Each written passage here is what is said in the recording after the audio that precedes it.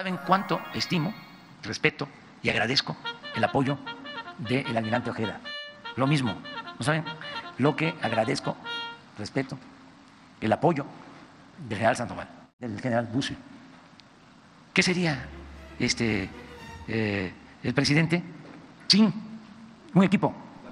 Sí, sin un respaldo de un grupo de mujeres, de hombres con convicciones, con principios leales al pueblo, leales a la patria, honestos en un proceso de transformación. Eh, me ayudan mucho. Jesús Ramírez, sí, que este, eh, le toca. A ver, ven, ven. Es que, ¿saben qué? Es que le echan la culpa a él.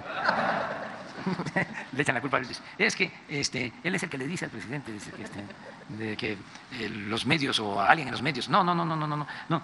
él es muy profesional y muy buena gente, de muy buen corazón, incapaz de una intriga de veras.